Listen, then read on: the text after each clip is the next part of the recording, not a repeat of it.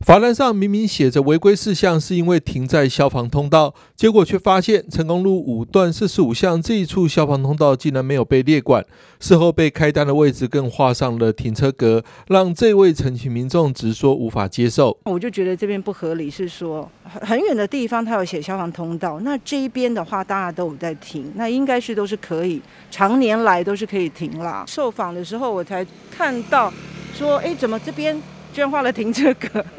而且第一个停车格就是我当初停的位置，所以要还我九百块来。小市民对于这个钱蛮重要，因为生活辛苦嘛。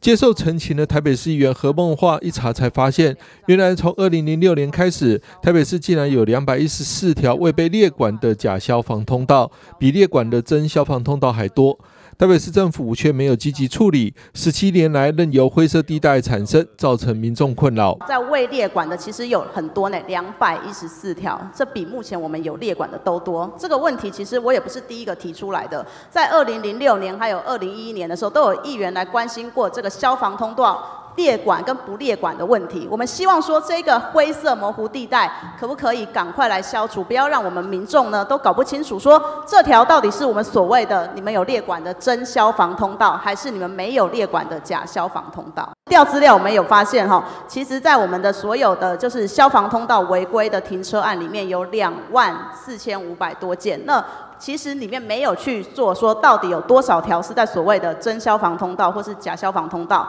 那如果民众没有自己去检举，没有自己去在申诉的话，他可能就这样子就多缴了六百块。我觉得对民众来说是非常的不公平。我们知道消防安全非常的重要，但我觉得市民的权利也是非常的重要。对此，台北市消防局长说明，民国九十五年后，消防通道的划设标准，未列管的消防通道有部分主要是当初地方认为有必要才留在原地。在九五年之后，整个全部交由消防局来整理的时候，就以目前的规定方式哦，它主要就是像哦刚才一座哦所提到的那几个哦，包括抢救困难地区等等，那它必须有净宽的限制、净高的限制等。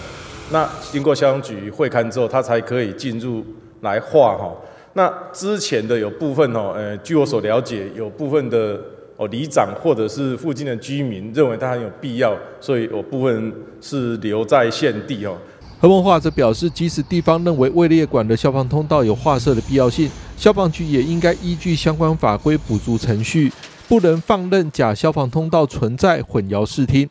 何梦化要求台北市政府消防局应该全面盘点消防通道相关法规，并与交通处研议如何改善假消防通道的问题，不要再让民众的权益受损。